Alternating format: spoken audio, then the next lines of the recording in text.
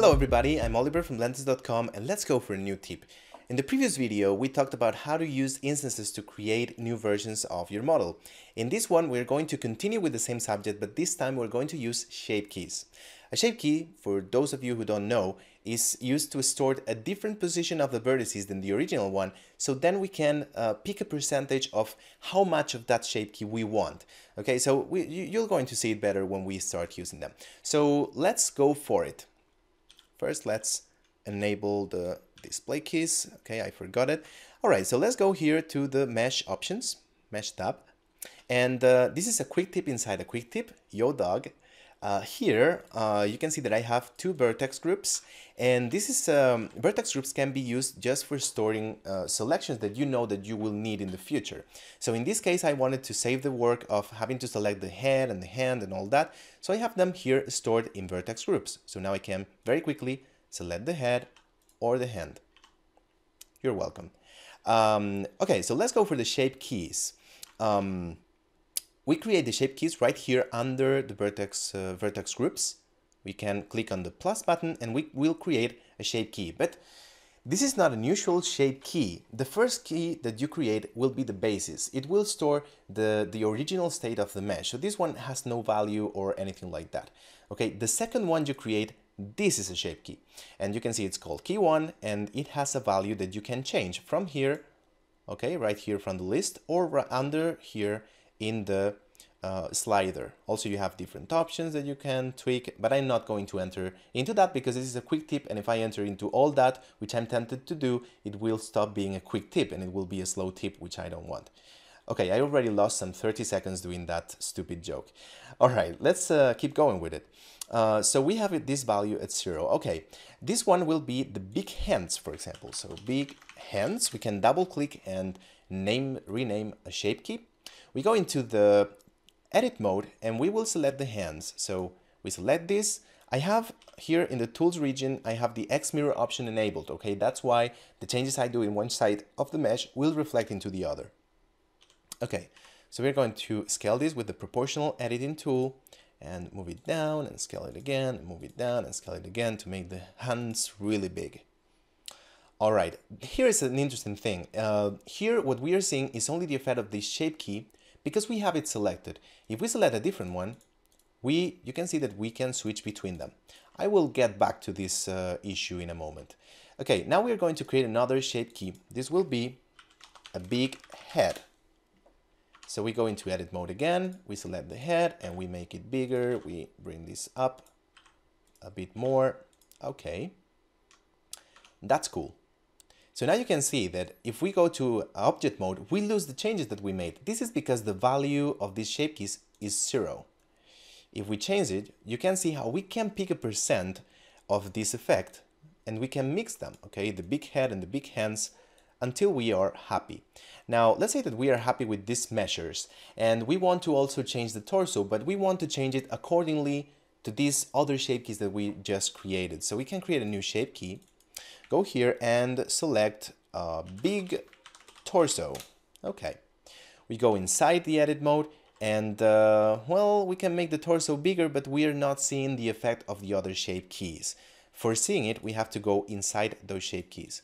And uh, keep in mind that regardless of the value that you have here in object mode, these shape keys will always represent inside edit mode the 100% of this effect, okay, when you select the shape key. So let's go to Big Torso and click on this option. And this option will make Blender show you the effects, the mix of the uh, percentage that you have for every shape key in the model. But before doing that, to show you another thing, I'm going to just select some these two vertices and make this torso a bit bigger. Okay. So now when I select this option, you can see that we can see now the bigger head and the uh, hands here. And it's uh, also very nice because we can even keep tweaking the percentages from the edit mode, which is great. However, if you noticed it, Take a look at the torso when I enable that option. The torso disappears. Why is that? Because even though we have it selected, the torso is at 0%, and this is not what we want. We have to want to put it at 1%, 100%, so we can just keep tweaking it until we are happy with it. Something like that. Okay, So now this will be like the final version of our character. Let's say that we are happy with this. Now we want to apply it. We have basically two options for doing this. One option that I really like is that we can click on this option here and uh, create, uh, let me check it here, create a duplicate for editing.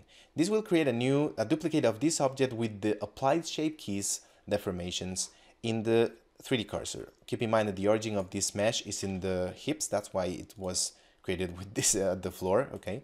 The origin is right there. So it's the exact same model, but the shape keys have been applied.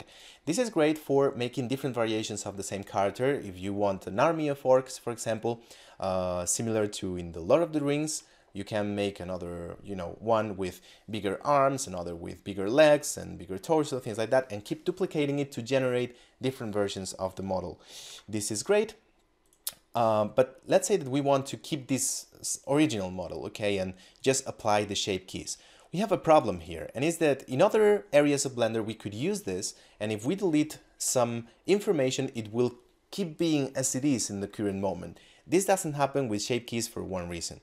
If we go here and just delete all the shapes, you can see that, uh, yeah, it uh, keeps being as I had it, looks okay, but check this out. If we enter into the edit mode, wait, not that button, this one, it resets. And uh, why does that happen? Well, because even though we deleted all the shape keys, let's go back, Blender still knows that the basis was the original shape, okay, of the model. So when we delete all of them, when we enter in edit mode, it's like Blender will refresh the model and will find out that the original stage uh, sta state of the model was this one, the basis. So we want basically to replace the basis and the way we do this is by deleting it. When we delete the basis, the next key, in this case the big hands, will become the basis. You can see how the um, big hands now has uh, this interesting effect uh, for some reason, but it has no value, okay?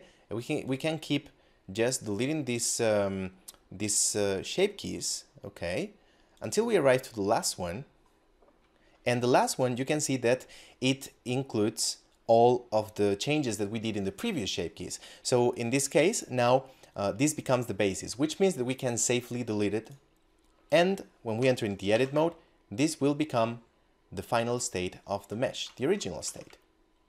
So this is it for this quick tip. I hope you liked it and I hope you enjoyed it. In the next video, stay tuned and subscribe because I will explain some inconvenience and some pros and cons of using this method as well as the previous one so you can uh, work around it or know at least the limitations that they have. So stay tuned and happy blending.